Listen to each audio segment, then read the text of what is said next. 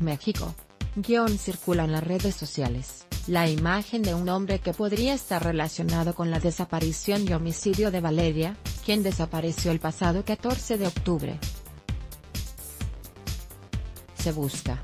Este es uno de los sujetos buscados por la arroba Fiscalía Domex acusado del asesinato de la niña Valeria, en el municipio de Melchor Ocampo Almohadilla y Domex una cámara de seguridad lo captó vigilando a la menor el domingo, para luego agredirla. pic.twitter.com barra Carlos Jiménez, arroba C4 Jiménez.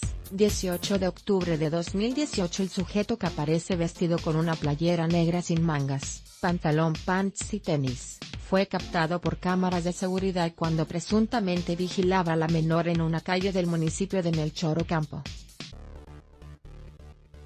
La Fiscalía General de Justicia del Estado de México, FGEM, ya intenta localizar al presunto delincuente.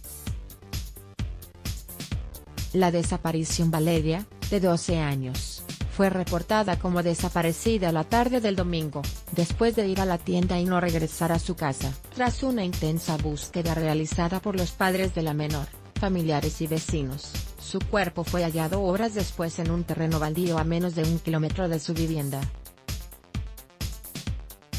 Durante la búsqueda de Valeria, los vecinos revisaron los vehículos que circulaban en la carretera Cuatitlán, Zumpango, para verificar que la pequeña no estuviera retenida en alguno de ellos.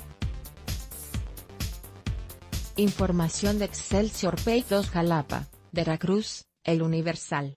Guión una veintena de personas resultaron heridas la mañana de hoy jueves al volcar un autobús de pasajeros en la zona montañosa central de Veracruz.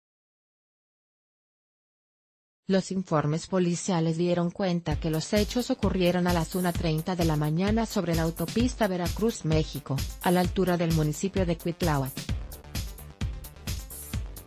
La unidad de la línea Autobuses Unidos, o, con al menos 40 pasajeros viajaba del puerto de Veracruz con destino a Oaxaca, pero el conductor perdió el control del vehículo, y volcó a un costado del camino. Los heridos, varios de ellos con heridas menores, fueron trasladados a hospitales de Córdoba por paramédicos de la Cruz Roja y Caminos y Puentes Federales, Capufe.